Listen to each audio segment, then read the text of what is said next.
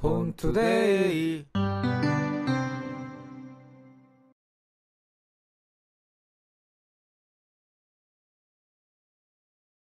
Utter 제품의 아이폰 5 다이어리 케이스입니다. 제품 포장을 개봉을 해보겠습니다.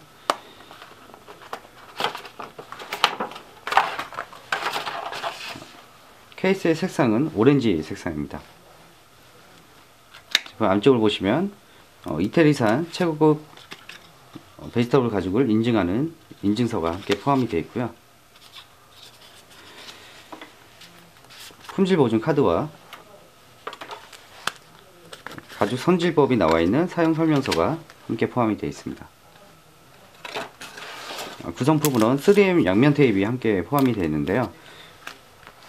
안쪽 사출 케이스 사용하시다 추후에 변경할 의사가 있으시면 다른 케이스로 어, 변경하실 수 있게 테이프가 포함이 된 것 같습니다. 제품의 그 제품을 보시면 카드 포켓 카드 수납이 총 세 군데로 할 수 있는 공간이 되어 있는데요. 맨 위에 카드 한 장을 한번 넣어 보겠습니다. 포켓 뒤를 보시면 어, 간단한 지폐를 수납할 수 있는 공간까지 제작이 되었고요. 제품에 아이폰 5를 장착을 해 보겠습니다.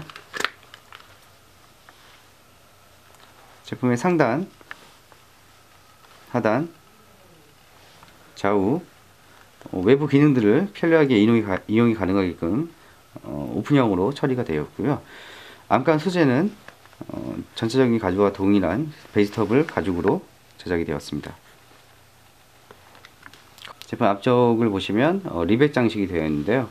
어, 니켈이라는 금속으로 어, 제작이 되었고요. 제품의 그 전체적인 소재는 최고급 이, 이태리산 vegetable 천연 소가죽으로 제작이 되었습니다. 만져보는 느낌은 굉장히 부드럽습니다. 제품 또한 동일한 소재로 제작이 되었고요.